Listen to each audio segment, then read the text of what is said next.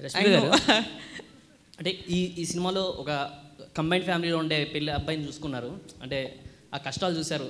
అంటే రియల్ లైఫ్లో పెళ్ళి విషయంలో కంబైన్ ఫ్యామిలీ చూసుకోవాలనుకుంటున్నారా? లేకపోతే single I have no idea అంటే నా రియల్ లైఫ్లో నా ఫ్యామిలీ వచ్చి చాలా ఇండిపెండెంట్ ఫ్యామిలీ అండి. It's just my mum dad my sister and me ఇప్పుడు నా కజిన్స్ నా ఫ్యామిలీ అందరినీ అంత కలవను. We not I don't know them very personally so వచ్చేటప్పుడు నా ఫ్రెండ్స్కి చూస్తే వాళ్ళు చాలా పెద్ద ఫ్యామిలీస్ ఉంటాయి.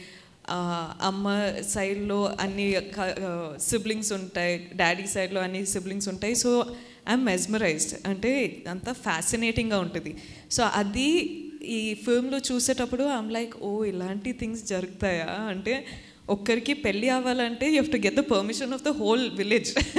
Or the whole you know family. So it's like one ఒక కొత్త కాన్సెప్ట్ నాకు కానీ it's a very interesting concept పర్సనల్గా మీరు ఎలాంటి ఫ్యామిలీలోకి వెళ్ళాలనుకుంటారు?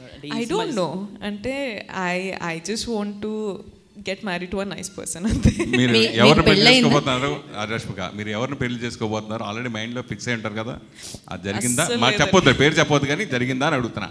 లేదండి. I haven't fixed it at all I think there's a lot of time for that lot of time left for that so I hope I run into a nice person సరే, ఈ cinema shooting జరుగుతున్నప్పుడు ఆడవాళ్ళు మీకు జోహార్ cinema రన్నింగ్లోనే మీ cinema Pushpa cinema release అయింది. అంటే ఈ సినిమా రన్నింగ్లో అది రిలీజ్ అయింది చాలా పెద్ద హిట్ అయింది.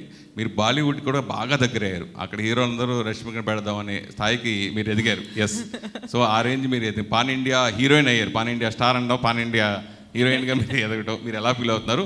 ఫ్యూచర్లో ఇలాంటి చిన్న సినిమాలు వస్తే ఇలా కంటెంట్ ఇంపార్టెంట్ ఉన్నది. మలయాళకి దగ్గర ఇలా మంచి సినిమా చిన్న సినిమాలు వచ్చినా మీరు చేస్తారా? లేదా మీ ప్రయారిటీ ఇప్పుడు పెద్ద హీరోయిన్ అయిపోయాను కదా బాలీవుడ్కి వెళ్ళిపోయాను కదా అలాగే ఉంటారా?